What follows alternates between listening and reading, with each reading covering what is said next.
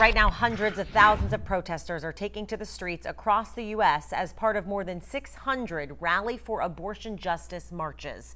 And we saw several rallies right here in South Florida, including one in downtown West Palm Beach. That's where we find our Steve King live tonight. Steve?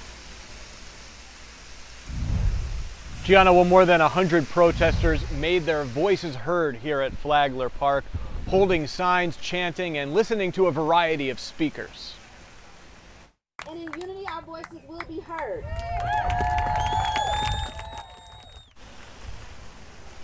The demonstrators say they held today's rally in response to the growing amount of legislation either being proposed, passed, or challenged that would ultimately take away a woman's right to choose. Organizers of more than 20 organizations gathered here in downtown West Palm Beach to share a single message that abortion should not be restricted in any way. Here's some of what people here had to say, followed by a Republican state lawmaker who is against abortion.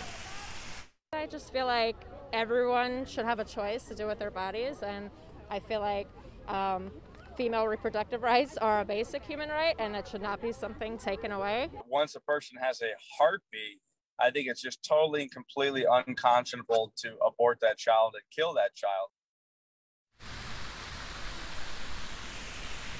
There was also a demonstration held in Delray Beach earlier this afternoon at Old School Square, where more than 100 people attended. Now, there were also some anti-abortion protesters making their voices heard throughout South Florida today as well.